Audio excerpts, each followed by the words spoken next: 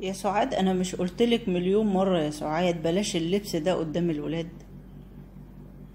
أحمد بطل بقى رجعية وتخلف و إيه رأيك أروح ألبس زي مامتك بقى أربط شعري كده ب- بطرحة و- وألبس لي عباية واسعة مجرجرة كده بكم واسع عشان أعجبك؟ يا سعاد أنا ما قلتش تلبسي كده. بالرغم إن أمي يعني طول عمرها بتلبس كده وما شفتهاش يعني متضررة ولا بتشتكي.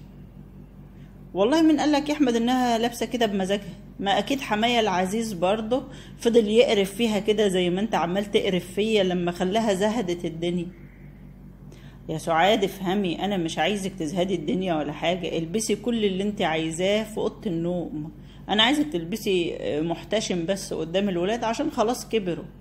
كبروا إزاي يا احمد يعني؟ ده 12 سنة و11 سنة و9 سنين. ده لسه صغيرين. امال أنا كنت بشتري يعني قمصان النوم دي كلها ليه؟ علشان البسها في اوضة النوم. أنا عايزة اقعد في شقتي براحتي يا احمد. وبعدين هم مش شايفين حاجة غريبة عشان أنا معوداهم أصلا ان أنا البس كده باستمرار. وبعدين أنا أصلا قبل ما أتجوز كنت بقعد براحتي أنا وماما عادي قدام إخواتنا ولا عمر بابا قال لنا أي حاجة على فكرة. يلا يا جماعة نبتدي حلقتنا. اللهم صل على سيدنا محمد وعلى آله وصحبه وسلم. يا ريت يا جماعة اللي ما اشتركش في القناة يشترك ويا ريت اللي ما فعلش زر الجرس يفعله عشان يجيله كل كل جديد. آه عايزين نعرف المرأة, تقعد في بيتها إزاي قدام محارمها؟ هل تخفف ملابسها ولا تلبس إيه؟ الموضوع ده. آه الرسول عليه الصلاة والسلام قال إن الله عز وجل حليم حيي ستير يحب الحياء. يبقى لازم إن المرأة تستتر قدام المحارم سواء ذكور أو إناث. المرأة كلها عورة ما عدا الوجه الكفين أسفل الساقين الرأس الشعر الرقبة ده طبعا في البيت. لكن خارج البيت إحنا عارفين ان الوجه والكفين بس. يبقى إحنا دلوقتي اتفقنا ان المرأة هتقعد زي ما إحنا متعودين على أمهاتنا الشكل الجميل اللي هي قاعدة مبينة شعرها ورقبتها ولو في جزء من رجلها من تحت لو في جزء رافعاه في إيديها عشان بتمارس شغل البيت أو واقفة في المطبخ. هو ده الشكل اللي إحنا متعودين عليه وهو ده الصح. ولازم اللبس لا يشف ولا ولا يصف. سواء بقى كانت أم أو بنت أو جدة. يعني ما ينفعش بقى أجيب حاجة فوق الكتفين أو قط أو ألبس قصير فوق الركبة أو بنطلون ضيق بيصف الرجل كلها طبعا ما ينفعش. طيب إمتى؟ أنا اتجوزت أهو وخلفت ولابسة براحتي وبت... إمتى بقى ابتدي أخد بالي؟ لما ابني يوصل سن التميز. التميز يعني الابن ابتدى يميز الحاجات اللي حواليه ابتدى يفهم. الكلام ده قالوا بقى من أول سن كام؟ من أول سن سبع سنين. لكن إن إحنا نشوف الأم دلوقتي بتظهر مفاتنها قدام الأولاد وقاعدة براحتها وكأنها قاعدة في أوضة النوم زي الأفلام الأجانب بالظبط ما ينفعش. دي مخالفة لشرع ربنا. الرسول عليه الصلاة والسلام أمرنا إن إحنا نستأذن عند الدخول على أهل بيتنا.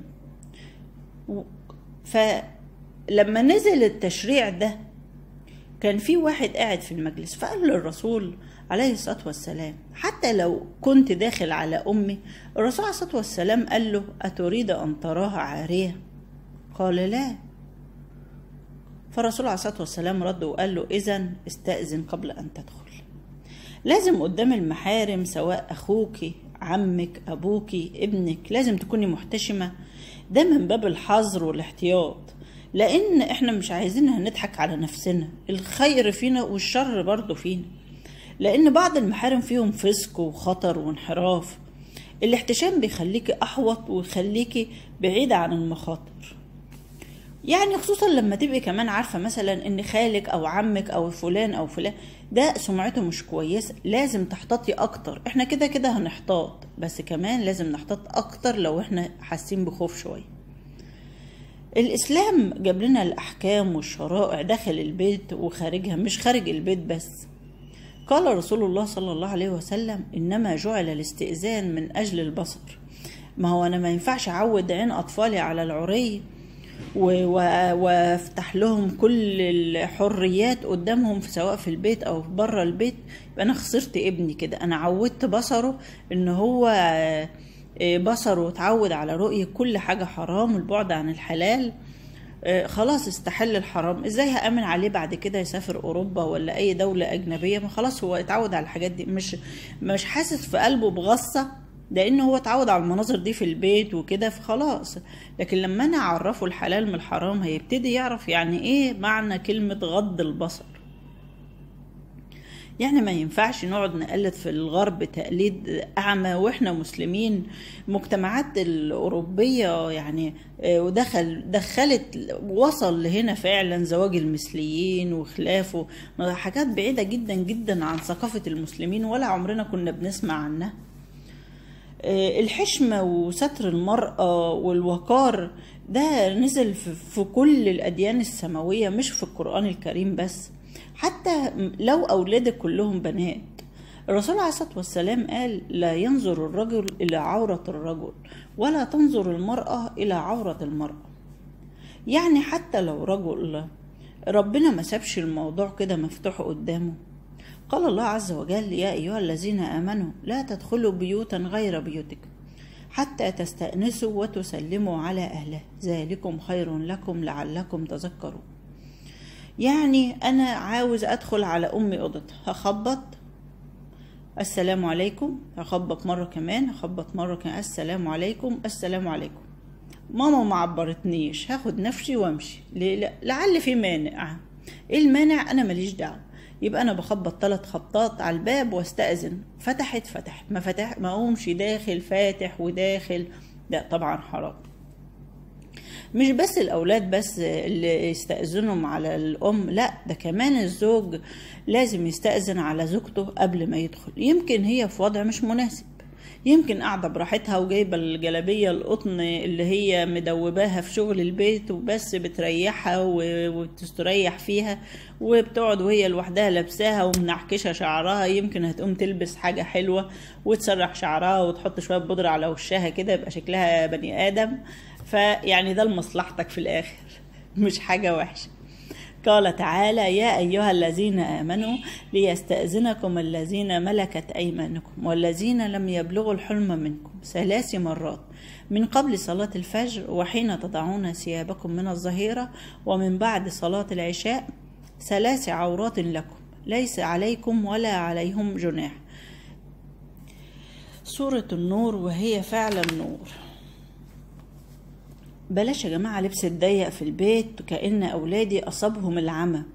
قال رسول الله صلى الله عليه وسلم صنفان من أهل النار لم أرهما قوم معهم سياط كأذناب البقر يضربون بها الناس ونساء كاسيات عاريات مميلات مائلات رؤوسهن كأسنمة البخت المائلة. لا يدخلن الجنة ولا يجدن ريحها وإن ريحها لا يوجد من مسيرة كذا وكذا.